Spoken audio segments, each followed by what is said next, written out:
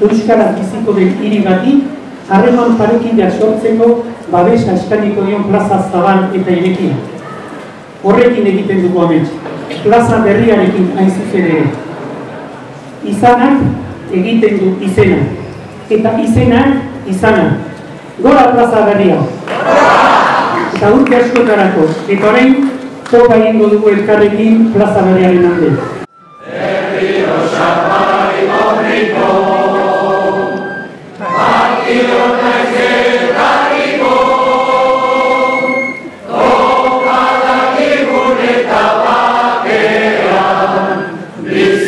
Amen.